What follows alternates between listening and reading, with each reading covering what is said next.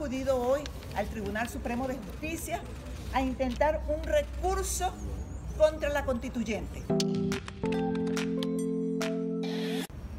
Y el pueblo al cual nos debemos todos los ciudadanos. Ese pueblo merecía que le respondieran si todavía estamos en una democracia... La fiscal general de la República, Luisa Ortega Díaz, introdujo ante el Tribunal Supremo de Justicia un recurso en el que solicita la nulidad de la constituyente convocada por el presidente Nicolás Maduro. Acudido hoy al Tribunal Supremo de Justicia a intentar un recurso contra la constituyente. Yo les voy a decir cómo se llama el recurso porque jurídicamente es muy largo.